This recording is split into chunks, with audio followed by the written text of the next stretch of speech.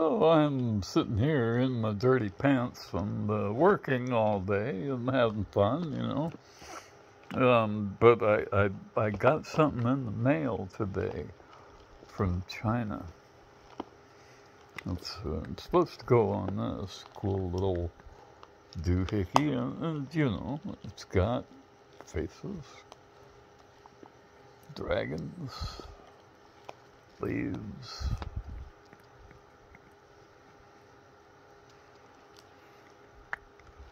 And inside, it's got other spheres all the way down inside of there.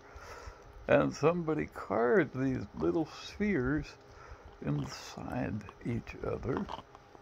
And I, I really, I don't know how they do it, man.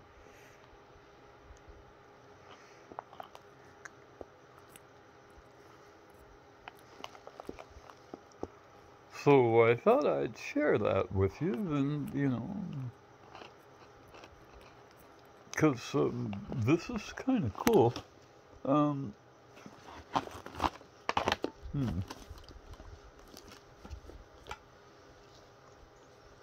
I wonder where that went. Probably under there somewhere. Uh oh. Alright, well.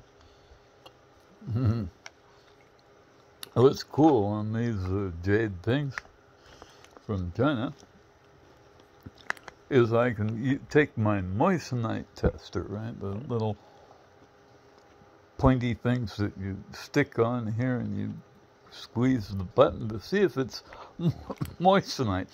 After you've already, you know, checked to see if it's a diamond, right? Um, with those little stupid testers that GIA passes around for people to test diamonds with. Well, if you if you try jade from China, it rings the bell for diamond. Um, and it also rings the bell for moissanite. Um, so go figure, you know. I don't know, man. I'm just reporting what I have seen. Little packing phone in there.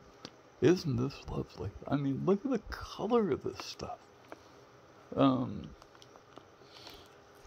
let's see if I can. Mm, anyway, it's translucent. It's beautiful jade. It is beautiful jade.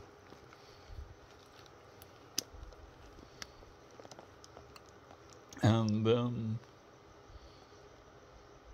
miraculously carved. I mean, you know, uh, there's no such thing as magic. Somebody carved that by hand.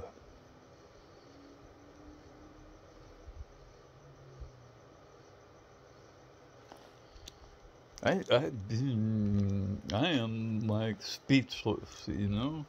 You know what I mean? I'm speechless.